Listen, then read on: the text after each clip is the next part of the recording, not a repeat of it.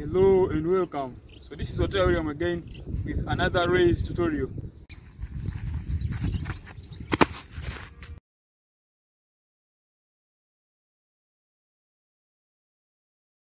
Now that I fully understand the technique behind the raiz so I'm going to show you the right way you can learn the raiz. So easy so fast. I've got this trick and I'm so much happy to share with you guys my ideas. So the prerequisites for learning the raiz make sure you are able to do the tornado kick yes once you have the tornado kick then we can go down for this trick. In my previous video i was teaching how to do the raiz but right now i've got a deeper secret of this move. Like i've got what you need to have to be able to do a nice raiz to be on a good axis. So what i want to share with you first of all is swinging your arms. So as you're doing the raiz you're going to swing your arms as much as you can. So when you swing your arms they're going to give you the power and the balance for this trick to be on the right axis. It all begins with swinging your arms that's the secret of learning the raiz. So the other thing is kicking your leg. So as you kick your leg, don't kick too early or too soon. So you're going first swing your arms, then you kick. It's going to be like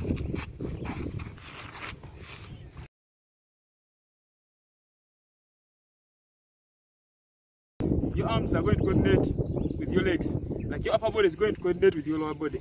So one thing, make sure you keep your kicking legs straight. So you swing your arms, make sure you keep these legs straight. So you're going to bend around 90 degrees, and that's when you're going to swing. Right?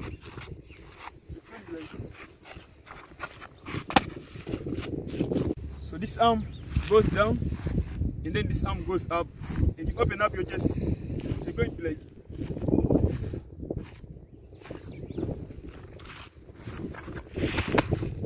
a perfect raiz, you're going to spot the sky always. So as you go, make sure you look at the sky. So that's how you're going to come out of the raiz in a good position if you are beginning from here. So the difference between the, so the difference between the raiz and the tornado kick, when going for the tornado kick, you're going to step forward and you're going to jump with your leg and you're going to switch your, you're going to turn to the sides. So as you're going for the raiz, you're going to stand in this position and you're going to swing your arms and you're going to lean forward. So you're going to make sure you bend forward around 90 degrees. So right now, we're going to begin our raiz progression step by step. And before we begin, the technique behind this trick is swinging your arms and kicking your leg in the back. So make sure you swing your arms and you go and support the sky. So remember, kick your leg in the back like this. So your chest is going to be in this position as you're going for this trick. So you're going to come out of this trick like this. So we're going to begin from the sides.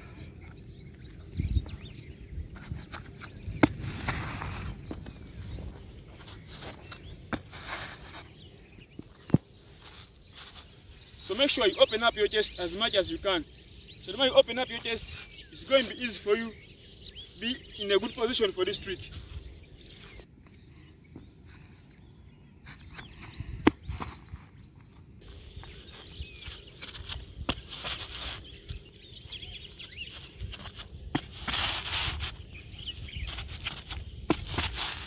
So the control for this move, the more you swing your arms, the more you're going to have control over this move. If you want to be, to be like very low on the ground, you can try as much like to control your, your momentum and your power. If you want like to go high, you can just try to swing your arms as much as you can and just try to figure out everything like kicking your leg.